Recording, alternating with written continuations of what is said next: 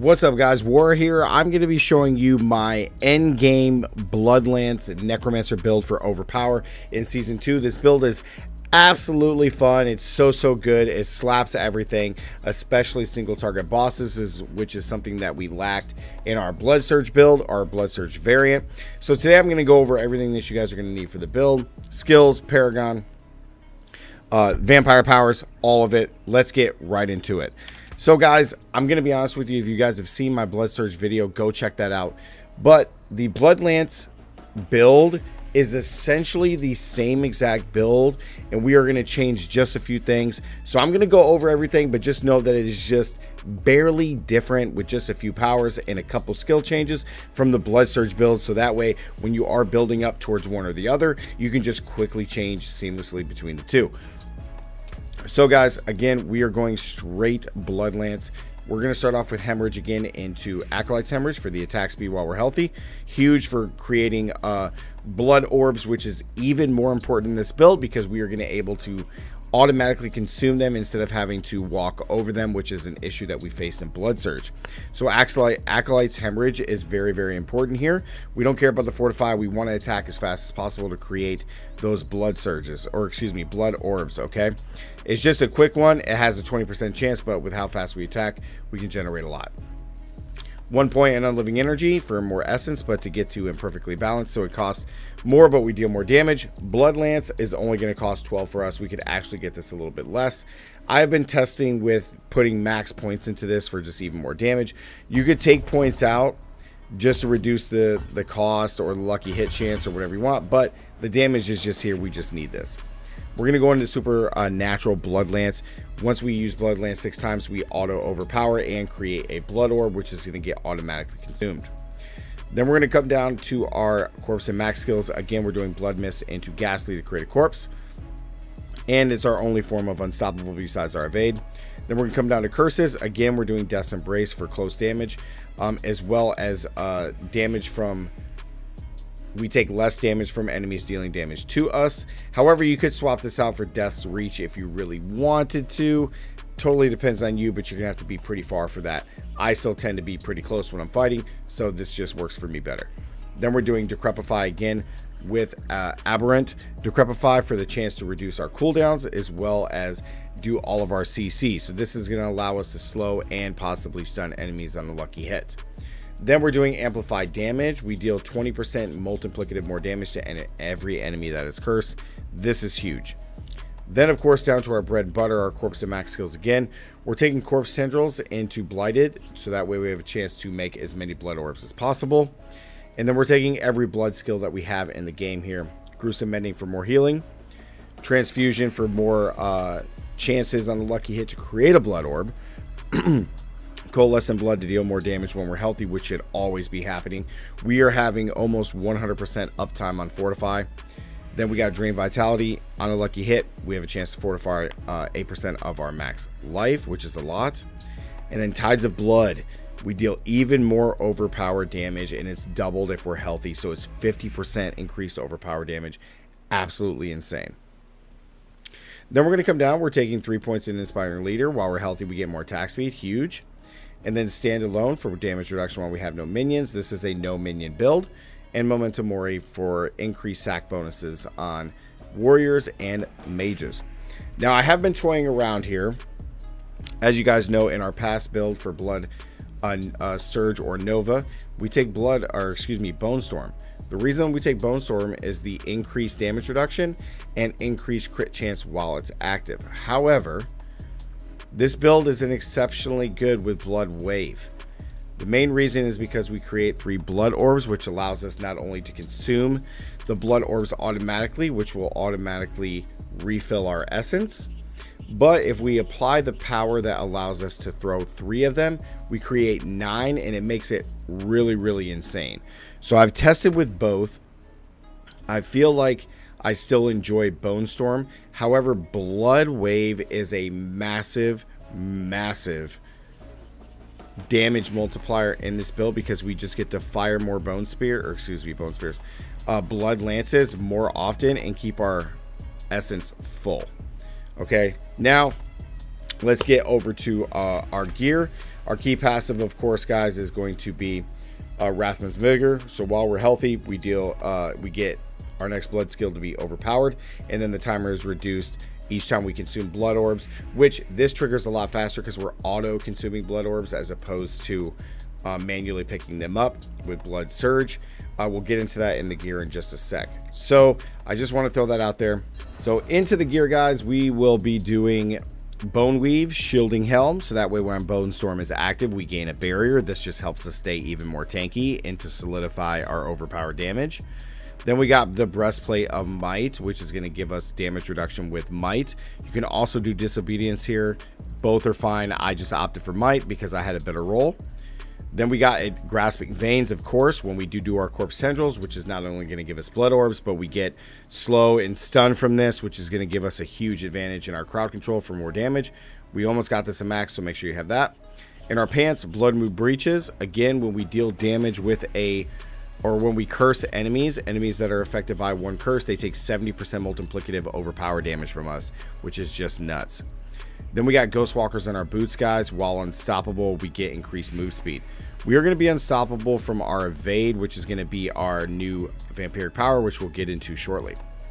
Then on our weapon, this is the only Gore Quills that I have found. It's a pretty darn good roll, but Gore Quills is necessary for this build. It says when casting Blood, Ant, Blood Lance, you will consume a Blood Orb to also conjure lances from them. Each additional lance deals 94% of normal damage and prioritizes targeting unlanced enemies.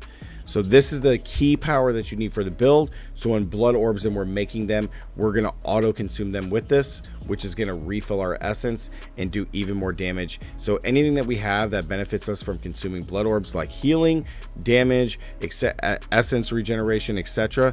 all benefit from using this. It just stacks freely. In our amulet, we have Rathma's Chosen. This is also necessary for the build. When your blood skills overpower, we gain attack speed for 4 seconds. This is huge. We want as much attack speed as possible. Then we have Hungry Blood. This is also something that I tested that I really like. Each cast of Blood Lance will launch an additional Blood Lance at a nearby enemy. When it first hits that enemy that is already lanced, you deal 48% of normal damage. Pretty cool here. We just fire even more lances. Then, of course, we have Potent Blood. Uh, while healthy, blood orbs grant us 18 essence. So every blood orb we get is going to give us a full essence back. We only cost 12 for blood lance. So this is one and a quarter of our blood lance, We're actually one and a half because it's 18. Yeah, it's one and a half. So each blood orb that we, we get, we effectively get to have three blood lances casted for free. So it's really, really strong. You need to have this. Now, a lot of people ask me about blood lance, why we use a two-handed as opposed to a main hand and an offhand. You can opt for that, but we want to deal as much damage as possible. Okay, but you can opt for that. You would just put the gore quills in here.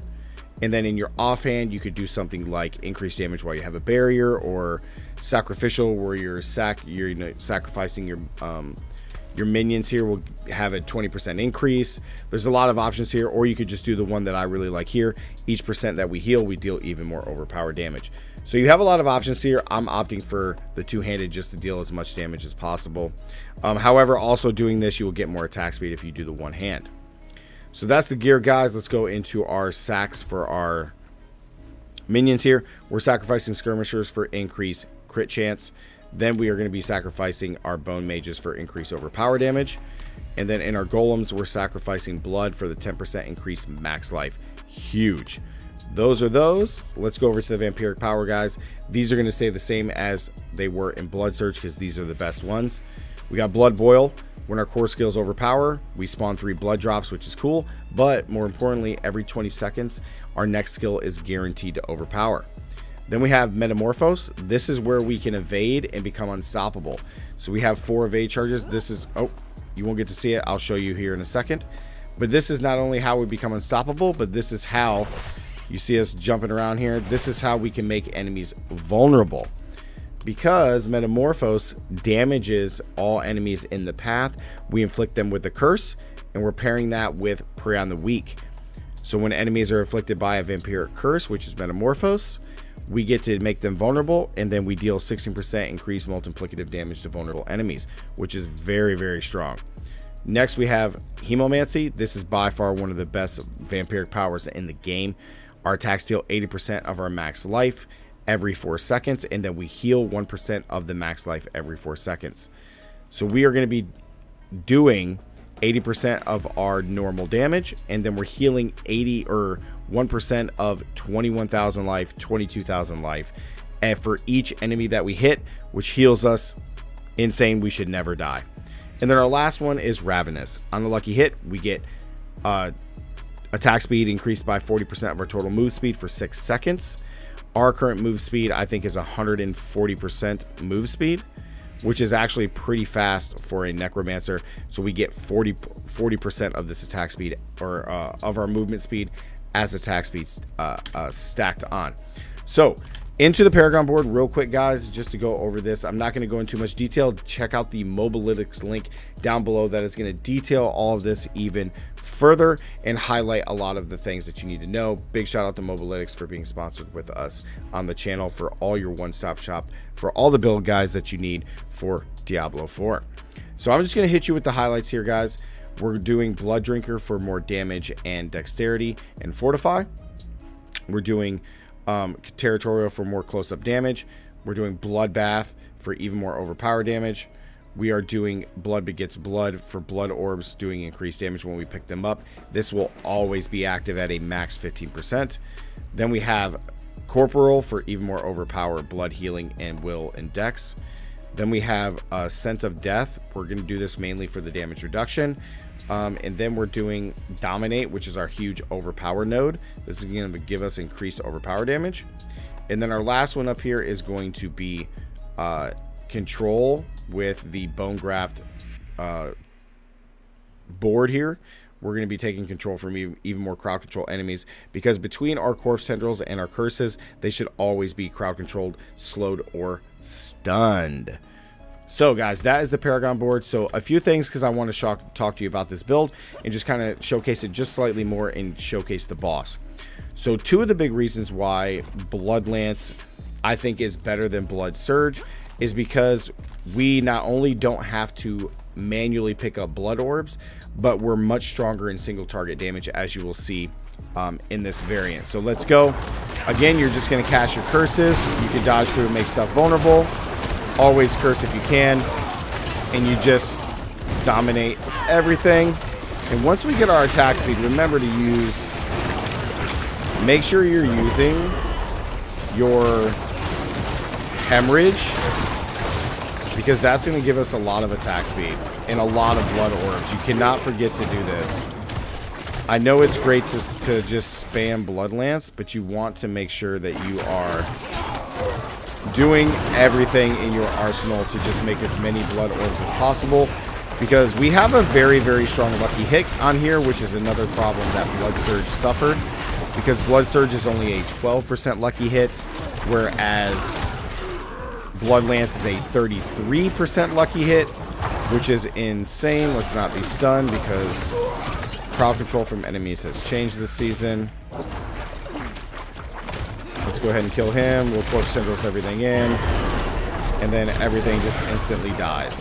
And I've already noticed that doing Blood Lance over Surge, even though we sacrifice a slight amount of area damage, okay, with as many lances that we're actually throwing, we're able to just nullify that as we continue to move and group them up with tendrils.